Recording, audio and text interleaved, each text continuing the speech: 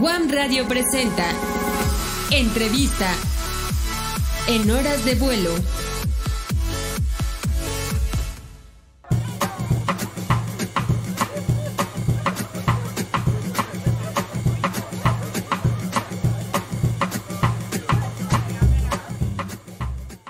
Bueno, amigas y amigos, y como les estaba comentando, tenemos un enlace hasta el sur de Francia, justo a Toulouse, donde se encuentra la sede de la UAM allá en Europa. Y es un gusto para nosotros poder conversar esta tarde aquí en el programa Horas de Vuelo con el doctor Salomón González, quien es profesor investigador de la UAM Coajimalpa en el Departamento de Ciencias Sociales y actualmente responsable de la Oficina de Cooperación y Vinculación de la Universidad Autónoma Metropolitana en Europa. Doctor Salomón, ¿cómo estás? Buenas tardes. Sí, sí, buenas tardes, Carlos. Muchas gracias por, eh, por esta oportunidad de, comunicarnos eh, en este programa de la, de la Al contrario, muchas gracias por considerarnos y un gusto tenerles por acá. De igual forma, salud y le damos la bienvenida a la doctora Rocío Abascal, doctora en informática e información para la sociedad por el Instituto Nacional de Ciencias Aplicadas en Lyon, ahí en Francia. También profesora investigadora del Departamento de Tecnologías de la Información de la División de Ciencias de la Comunicación y Diseño de la UAM Coajimalpa y miembro del Sistema Nacional de Investigadores. Doctora, ¿cómo estás? Buenas tardes, bienvenida. Muchas gracias. Gracias por la invitación. Y de igual forma le damos la bienvenida a la doctora Mar Pérez San Agustín, representante del proyecto internacional Prof 21, del cual hablaremos a continuación. Ella es profesora asociada en la Universidad de Toulouse, Université Toulouse, y también es investigadora del Instituto de Investigación en Informática de Toulouse. Bienvenida, doctora. Buenas tardes. Buenas tardes. Muchas gracias por la invitación. Es un placer. Al contrario, qué gusto tenerles por acá y, más para hablar de un proyecto tan importante, un proyecto en el cual nuestra Casa Abierta al Tiempo tiene una participación. Así que, si les parece bien, por favor, eh, doctor Salomón, pónganos en contexto de qué estamos hablando con este proyecto que tiene la oficina de la UAM allá en Toulouse, por favor. Sí, gracias, Carlos. Bueno, eh, quizás primero como antecedentes como lo sabes bien y parte de la comunidad de la UAM, eh, nuestra universidad instaló eh, a finales de 2017, a principios de 2018, su oficina, su antena, su representación aquí en Toulouse. Eh, Toulouse es una ciudad particularmente estratégica en el ecosistema de la ciencia, de la tecnología y de la innovación. Hay una serie de universidades muy importantes en los diversos campos del conocimiento y que la UAM y sus profesores han tenido una relación histórica desde hace décadas. Creo que fue un acierto el que se haya seleccionado esta ciudad para que aquí estuviera su representación.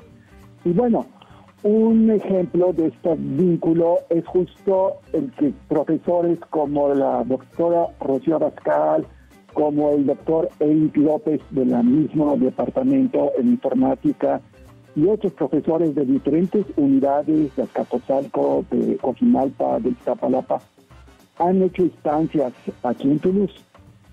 Entonces, eh, eh, la doctora Rocío, el doctor Eric, eh, en su vínculo, en su relación con la Universidad Paul Sabatier en Toulouse, eh, nos contactaron, eh, eh, somos amigos, nos conocemos desde hace muchos años, de este proyecto muy interesante y tuve el placer de conocer a la profesora Mar Pérez.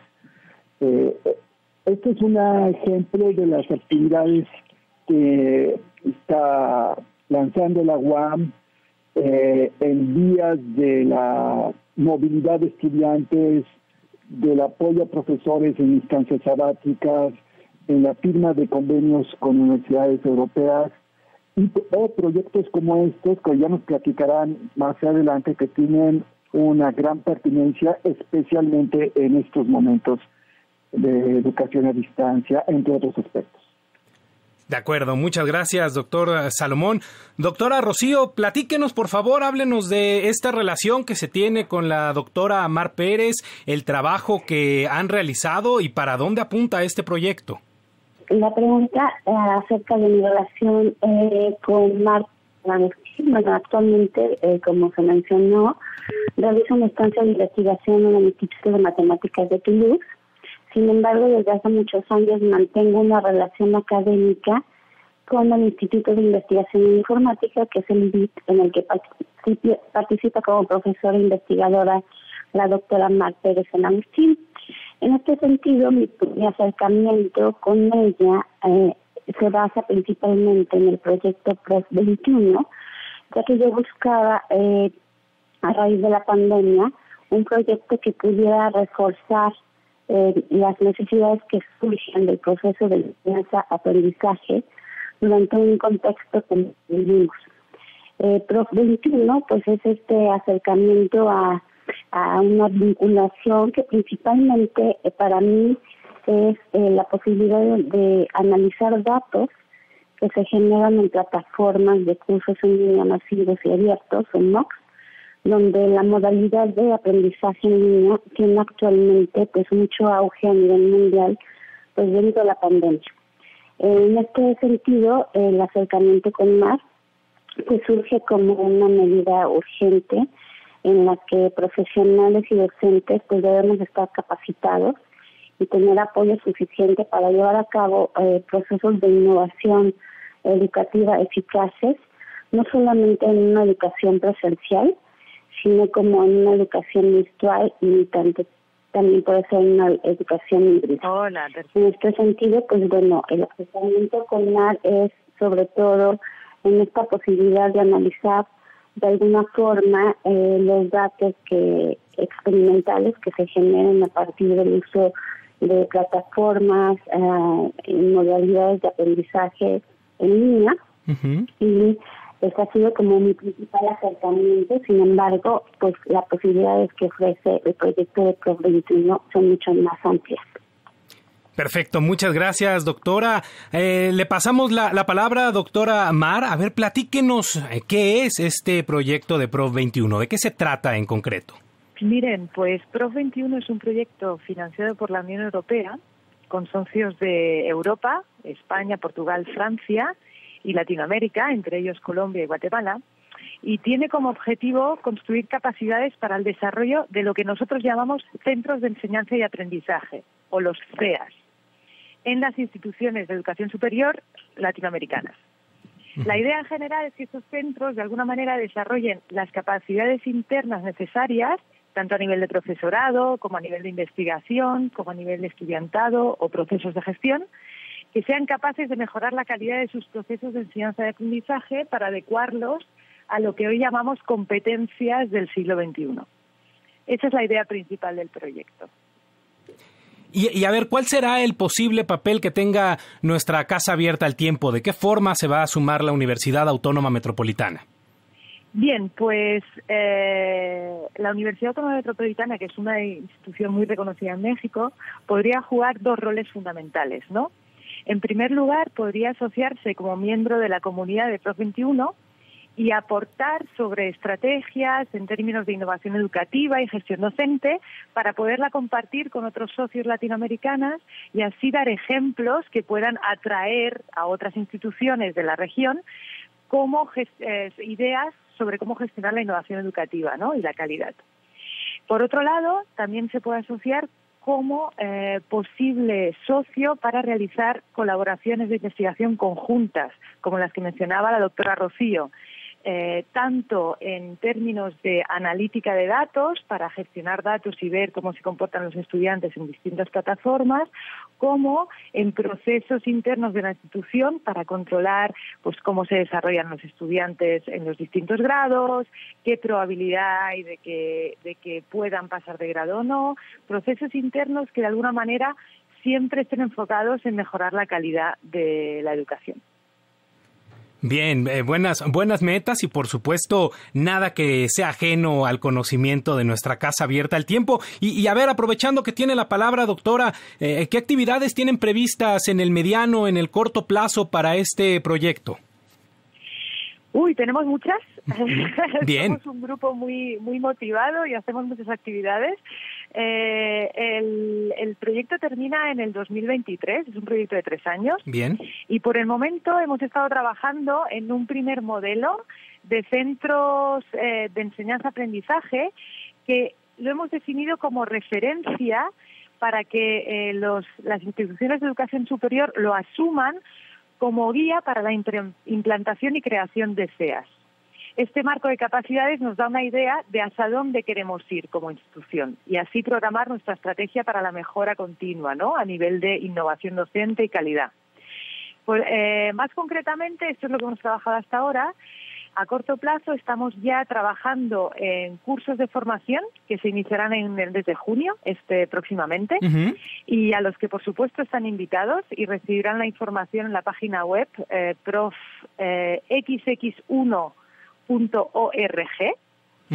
Y son cursos que tratan sobre eh, talleres de formación tanto para profesores como para estudiantes o investigadores o gestores interesados en el uso de herramientas y tecnologías para modelos de enseñanza en línea o híbridos, eh, eh, estrategias de análisis o, de modelos pedagógicos que ayuden a, hacer un aprendizaje más activo, en tanto en línea como en híbrido. Eh, planes estratégicos y una reflexión sobre modelos de gestión de centros de enseñanza de aprendizaje para desarrollar nuevas capacidades y eso es ahora, viene en junio y empieza la primera, la, eh, primera charla el 8 de junio. Eh, a largo plazo, la idea es eh, proporcionar todos estos materiales en forma de curso en línea o libros en forma de guía para que todo esto pueda servir como referencia para la creación de nuevos centros en la región de Latinoamérica, que es el objetivo último. Pues vaya, eh, metas que son por supuesto alcanzables y qué bueno que se tenga esta colaboración más allá de la zona metropolitana aquí en nuestro país, de la Universidad Autónoma Metropolitana y que se expanda, que se utilicen estos vínculos que están allá en Europa. Gracias, doctor Amar. Eh, doctor Salomón, creo que creo que es importante hacer mención y recordar a, toda a toda nuestra comunidad universitaria que hay una sede en Francia, que la casa está abierta también allá en el viejo continente y que se pueden poner en contacto con ustedes. ¿Dónde los pueden encontrar? ¿Cómo puede ser este vínculo, esta comunicación? Sí, gracias, Carlos. Efectivamente, eh, creo que en este último año eh, quedó más que claro la importancia de las tecnologías y del vínculo planetario internacional de la educación, la ciencia y la cooperación entre países y universidades. Eh, la, oficina de la UAM en Europa tiene un portal eh, donde informamos regularmente nuestras actividades dentro de la página de la Rectoría General en la sección de vinculación.